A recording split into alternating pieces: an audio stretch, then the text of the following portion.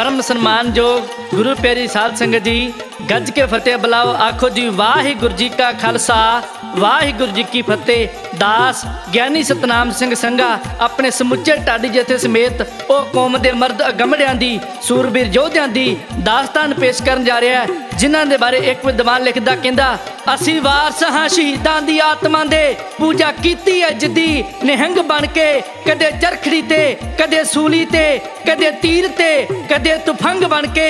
ਮੌਤ ਸਦਾ ਸੁਹਾਗਣ ਹੈ। ਖਾਲਸੇ ਦੀ ਜਿਉਂਦੀ ਅੰਗ ਬਣ ਕੇ, ਮਰਦੀ ਸੰਗ ਬਣ ਕੇ। ਅਸੀਂ ਜੰਮੇ ਸ਼ਮਾ ਤੇ ਰੂਪ ਚੜਿਆ ਮਰੀਏ ਕਿਵੇਂ ਨਾ ਅਸੀਂ ਪਤੰਗ ਬਣ ਕੇ। ਅਸੀਂ ਅੱਜ ਵੀ ਉਹ ਵੀਰ ਬੰਕੇ ਤੇਰੇ ਜਿਗਰੇ ਚੋਂ ਖਿੜੇ ਗੁਲਾਬ ਦੇ ਫੁੱਲ, ਜਿੱਥੇ ਕਿੱਥੇ ਚਲੇ ਜਾਈਏ, ਦੁਨੀਆ ਕਹਿੰਦੀ ਸਾਨੂੰ ਪੰਜਾਬ ਦੇ ਫੁੱਲ। ਅਸੀਂ ਅੱਜ ਵੀ ਮੀਰੀ ਹਾਂ ਆਸ਼ਕਾਂ ਚੋਂ, ਆਪਣੇ ਯਾਰ ਦੀ ਰਮਜ ਪਛਾਣਦੇ ਹਾਂ। ਸਿਰ ਆਪਣਾ ਤਲੀ ਤੇ ਧਰ ਸਿੰਘੋ, ਗਲੀ ਯਾਰ ਦੀ ਪਹੁੰਚਣਾ ਜਾਣਦੇ ਹਾਂ। ਟਾਡੀ ਤਾਂ ਗਾ ਕੇ ਇਉਂ ਦੱਸਦਾ ਹੈ।